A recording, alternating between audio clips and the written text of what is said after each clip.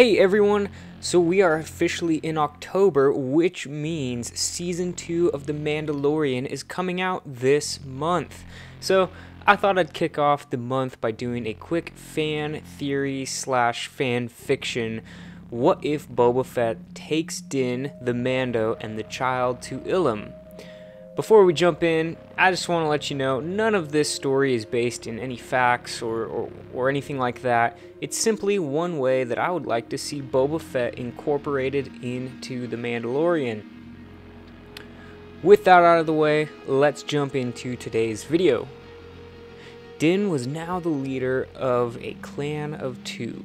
He and the child had spent a significant amount of time in the cockpit of the Razor Crest. They were traveling across the galaxy. The task of searching for the Jedi was proving to be much more difficult than he had anticipated.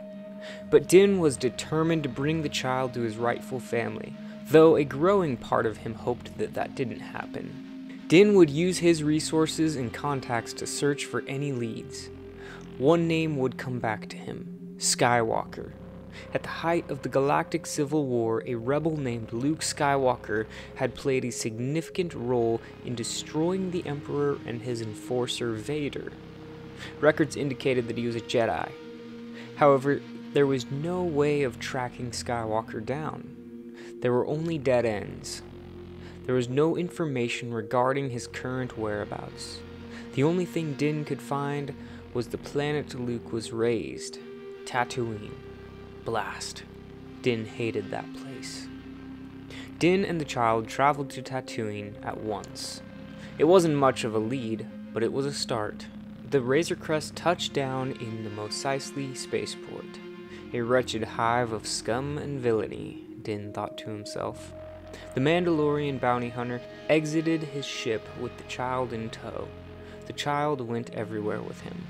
They made their way to the cantina that hosted a great deal of travelers. It sat just outside the main hangars. In keeping with their tradition, Din ordered some soup for the child and nothing for himself. He would listen. The child would eat. Hours of sitting and listening yielded nothing but stares. A Mandalorian was not a common sight at this point. Din was used to the stares, and especially when the stares bounced between him and the child. It was a strange sight, no doubt. A Rodian approached Din. He was drunk. Pull off that helmet.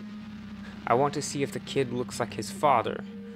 The Rodian stumbled forward and knocked the soup off of the table in front of the child.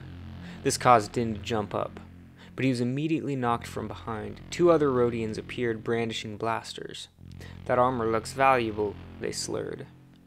At this point, the patrons of the cantina were all watching the inevitable showdown.